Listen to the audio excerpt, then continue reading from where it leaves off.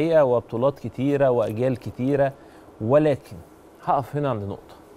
هروح عند فريق الأحلام وأقول ليه الزمالك افتقد دايما اللعيبة يقولوا الأهلي بياخد البطولات في روح شديدة جدا روح الفانيلا الحمراء. قدر الأهلي إن هو يصدر المشهد ده للعيبة أولاده وللجداد وللقدام وللي جاي. هتلبس الأهلي هتنافس على بطولة البطولة اللي تخسرها مش سهلة. قصة. الزمالك جه فترة كده في النص مع الظروف مع الدربكة مع الأمور الماديه مع تغيير الإدارات. افتقد الفريق الحتة دي. بقت صفقات تيجي وتمشي وفرق تيجي وتمشي من غير بطولات والدنيا سهلة. اتعملت آه، سنة الأحلام دي. السنة اللي أنا بعد ما راح الدوري وراح الكاس أنا قدمت طلب اعتزال. ده الكلام ده كان سنة 96 96 ديت أنا كان عندي حوالي كان عندي 29 30 سنة. قلت أنا بعد ما جبنا فريق الأحلام وجبنا الأسماء دي كلها على الأسماء اللي موجودة التقيلة دي كلها وبيضيع مننا دوري وبيضيع مننا كاس. ليه؟ لأن أخطاء أخطاء إدارة. لما بتبقى في أخطاء إدارة أنت من الأول أنت بالليل ماشي الكابتن فاروق هو مدير فني لنادي الزمالك بالليل. مم. الساعة 3 4 الفجر اتفاق مع كابتن أحمد رفعت الله يرحمه إن يبقى المدير الفني لنادي الزمالك.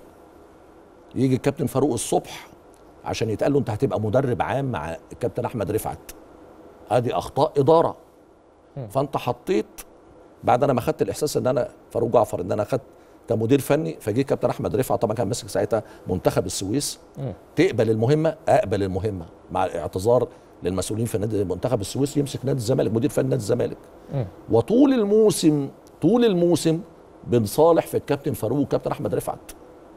وفي المحاضرات وإحنا موجودين في المحاضرات كمان كانت في أشياء مش مفروض إنها تحصل.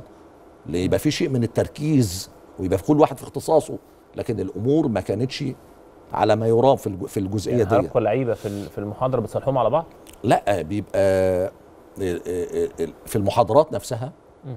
ما بين ال- ال- الجهاز نفسه كان بيبقى في أشياء ما بين ال- ال- الكابتن أحمد رفعت أو في وجود الكابتن فاروق في الأمور اللي زي ديت.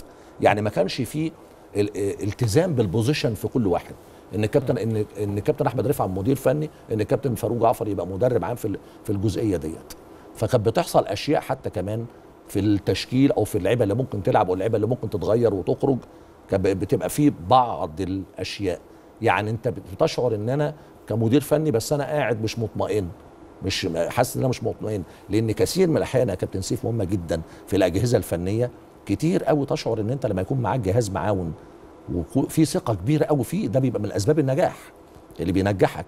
لكن لما تشعر إن أنت مش مطمن للجهاز المعاون معاك إن أنت تشعر إن هو متربص ليك أو ممكن أي شيء ممكن يحصل ده بيبقى شيء ممكن ينعكس على أداء الفريق داخل الملعب.